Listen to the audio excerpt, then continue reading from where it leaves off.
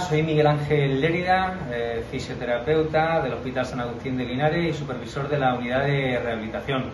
Eh, en estos días eh, hemos visto ampliado nuestra cartera de servicios, el material del que disponemos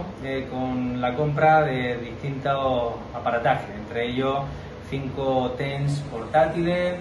un sistema de corriente combinada, un sistema de presoterapia que nos va a permitir sobre todo tratar a las mujeres post mastectomizada eh, y mejorar las que son las secuelas posteriores de esta operación, así como dos dispositivos que van a tener mucho interés porque están a la, vanguardia de la eh, evidencia científica. Entre ellos el sistema ECTE, eh, que es un sistema que nos va a permitir hacer neuromodulación y tratamiento sobre todo del tejido tendinoso y ligamentario, y este aparato, este sistema, que es una superinductiva, que es el aparato más versátil de todos los que vamos o hemos adquirido. Este aparato, aparte de trabajar sobre el sistema musculoesquelético en toda la patología posible, nos va a permitir también, sobre todo con este sillón, eh, que es un complemento también adquirido con la misma, nos va a permitir el trabajo del suelo pélvico. Y dentro del trabajo del suelo pélvico, pues patología de incontinencia urinaria, fecal,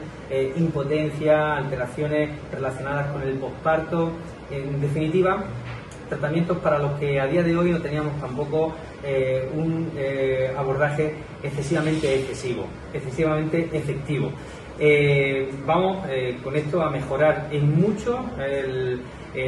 la, atención a la ciudadanía y, por supuesto, eh, al final la eficiencia en cada uno de los procesos que demandan nuestra atención.